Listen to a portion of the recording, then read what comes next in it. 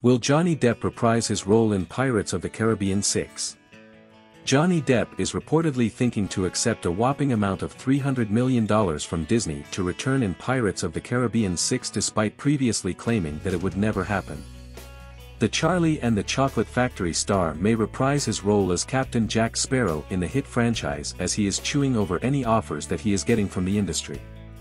Disney is thinking about offering $300 million for Johnny Depp's return but nothing has been agreed yet, the insider said.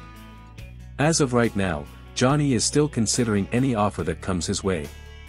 If he returns to the franchise, this would arguably become one of Depp's biggest wins after getting dropped from Disney without having any proof of what Amber Heard accused him of. Previously, a source close to Depp told the outlet that the studio reached out to Depp prior to his defamation trial against Heard and asked whether he would be interested in returning for another pirate film or two.